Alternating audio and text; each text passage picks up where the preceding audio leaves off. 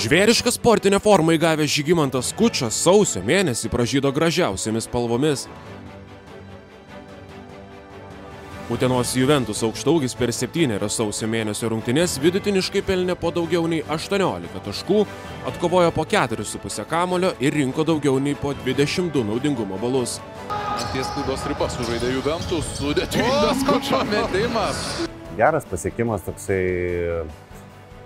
mėnesį šis laiko mano karjeroje, manau, visai neblogas, bet jaučiuosi gal taip pat, nežinau. Sausį komanda iškovoja šešias pergalės iš septynių, o toks žaidimas Žygimantui Skučiui atnešė naudingiausio sausio mėnesio BCF LKL krepšininko titulą.